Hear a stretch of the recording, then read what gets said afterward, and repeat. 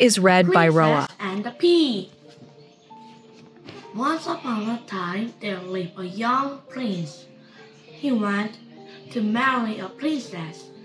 His parents wanted to him to get married too, but he was very picky. He met many princesses. However, he didn't like any of them. he always found something wrong with them. They were answered to this or to that. She is too smart. She is too shy. She is too loud. The prince would complain. No one of the princess pleased him. The king and queen were very worried. They were afraid the prince would never marry. The king frustrated and says to him one day, My son, this cannot go on. You really must marry soon. I am going here for the grand ball. I will invite all the princesses from neighboring kingdom. I'm sure you will like one of them. For several days, the palace was busy with activity. Everyone was preparing for a big party. The servant proceeds the clean proceeds and clean the palace until it sparkled. The cook made a delicious breakfast, and the musicians practiced their music for the ball band. Finally, the evening of the grand ball came. The guests began to arrive in handsome carriages. They were all dressed in their finest clothes. The princess put their most beautiful dresses. They are made from silk and barbered with gold and silver tin. the princess covered themselves in rich jars. To one, to anyone else, they all looked wonderful. But Prince stood alone in the corner. He just frowned at the cloud. The queen was watching the prince all night long. She became angrier and said, You must make an effort, my son. Ask one of your princesses to dance with you. The prince didn't want to upset his mother, so she started to dance with the princess. Each time the prince changed partners, the queen whispered to him, So what about this one? But the prince wasn't pleased with any one of them. He would answer, too tall, too small, too talkative, too quiet, too ugly, too vain, too thin, too fat. Princess and the Pea Once upon a Soon the clock struck midnight, and it was time for the bed to end. The guests started to leave one by one. The king and queen were very upset. The prince didn't like any of the princesses. He couldn't find anyone he wanted to marry. The king didn't understand why the prince was so picky. He asked, Did, Didn't you like even one of them? I thought several of the princesses, princesses were very lovely. Princesses were very lovely. lovely. The prince just shook his head. He was quite depressed, and both the king and queen were ready to give up. Meanwhile, In the kingdom far away, another bear was just in the air. The guests were leaving, and a princess was falling in a corner because her pa- parents were scolding her. You won't dance and you won't look any of the princesses, cried the king. You are so picky that I'm afraid you will never get married. But the princess said the prince were all too tall or too short, too fat or too thin, too vain or too ugly. I won't marry any one of them. The king and queen were very upset. They wanted their daughter to be happy, but they also wanted her to be married. Suddenly, the princess said, Maybe the husband for me lives in another country. Let me go and visit some faraway kingdom. I beg you. At first, the king and queen refused. It would be too dangerous for a young queen and beautiful princess to travel alone, and they could not go with her. But their daughter was nervous. She wouldn't stop begging, so they actually gave in. A few days later, the princess left the palace to look for her prince. She wasn't alone though. She was escorted by armed guards. They traveled through many kingdoms. The princess wa- was welcome at every palace. She met many princes. She met many princes, but she didn't want to marry any any of them. Any of them. She just couldn't find her perfect prince. The princess didn't want to disappoint their, her parents, so she keep, kept on looking. One night, the princess and her girls were passing through a dark forest. and suddenly the band of robbers appeared. They attacked the travelers. They captured all the girls and stole their baggage and gold. The princess ran and hid behind a tree. The robbers searched for her for hours, but finally gave up. Luckily, she managed to escape. But now the princess was lost and alone in the dark woods. She walked for hours. She tore her clothes and branches and lost her shoes in the mud. The princess was about to also hope. Then at last she saw a castle in the distance. She began to run toward it. Suddenly there was a terrible crash of thunder. Rain began to pour down. By the time the princess reaches the castle, she was soaking wet.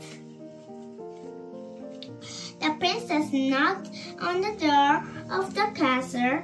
The castle was the home um, of the picky young prince. The servants opened the door. They were surprised to see a dirty red woman standing at the door. Take me your master, commanded the princess. She looked a mess, but the young woman's manner was very proud, and her voice was clear and noble. Instead of closing in the door in her on her, they let her in and cared for their master. The king and queen were shocked to see such a very dirty creature. But the princess calmly asked for their help. My man and I were attacked by robbers. Only I escaped. I asked for your help. The king and queen were surprised by her noble voice and manner. The king gave her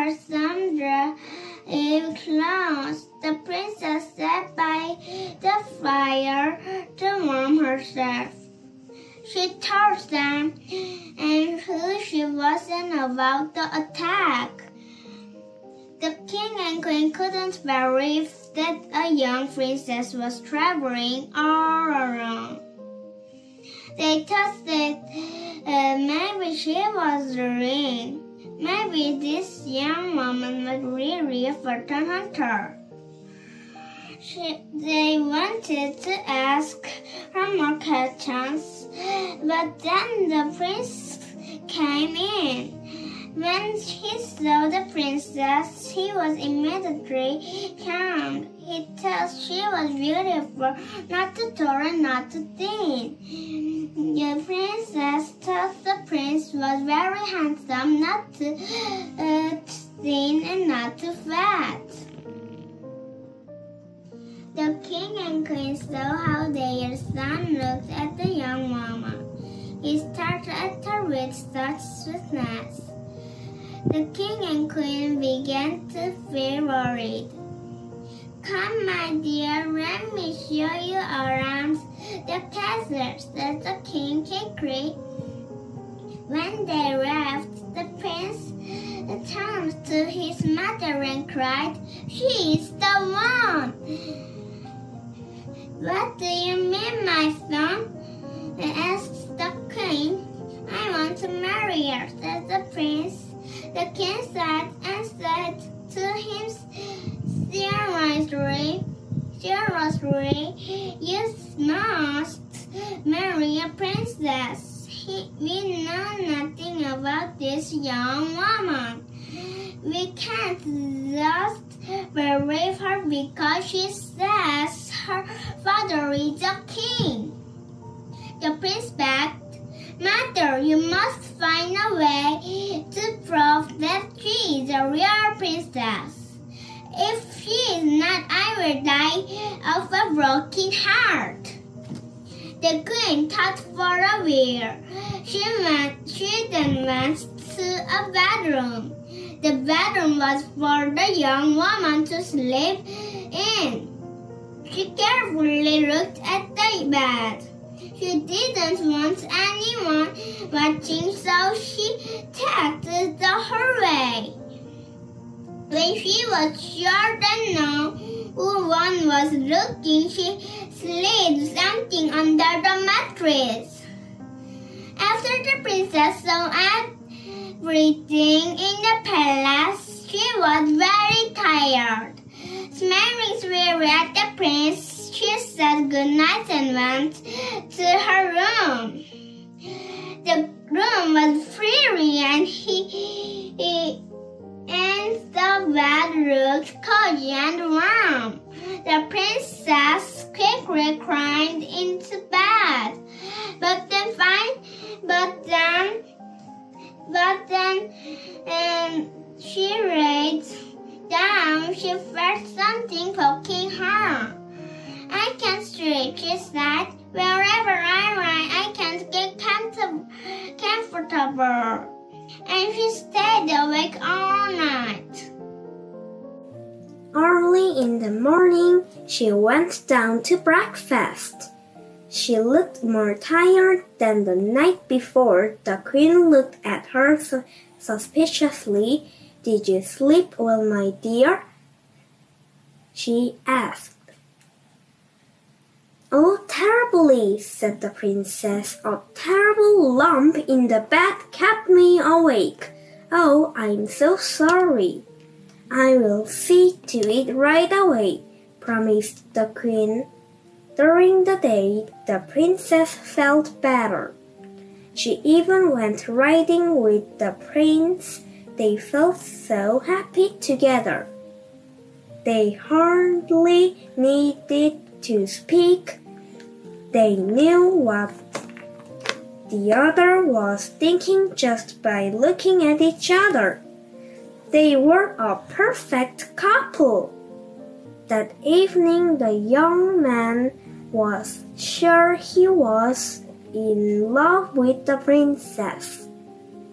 He was anxious to know was she a princess or wasn't she? So, can you prove that our guest is really a princess? He asked his mother.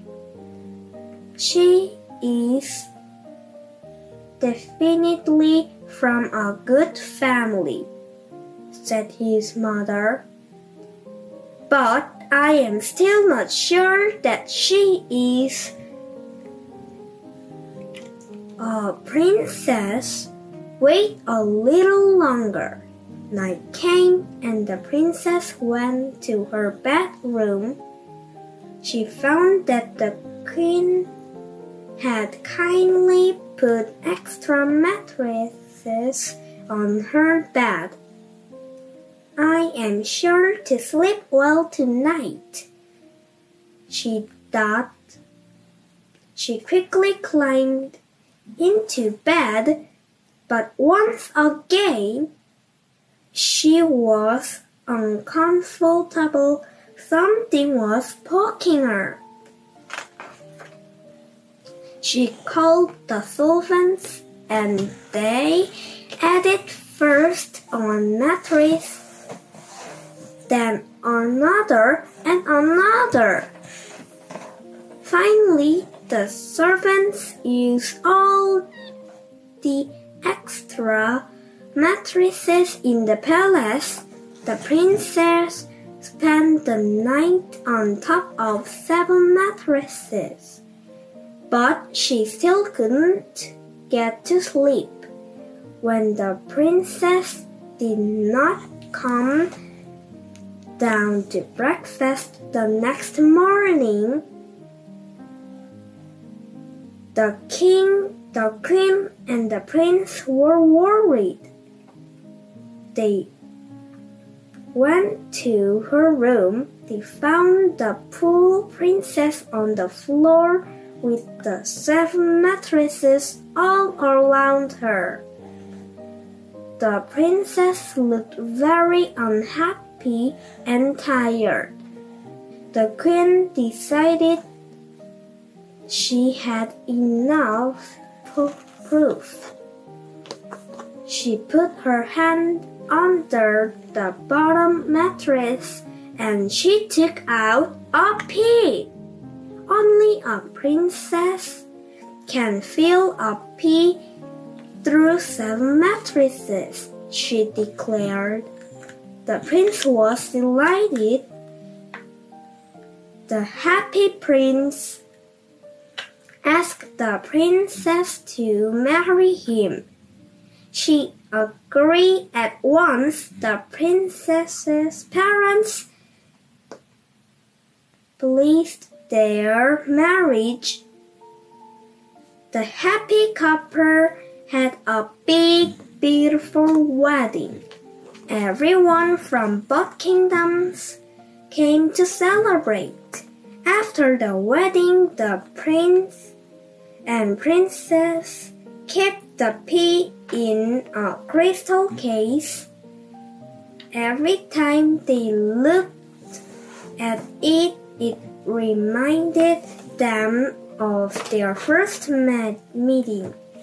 From then on, the Picky Prince and Princess lived happily ever after.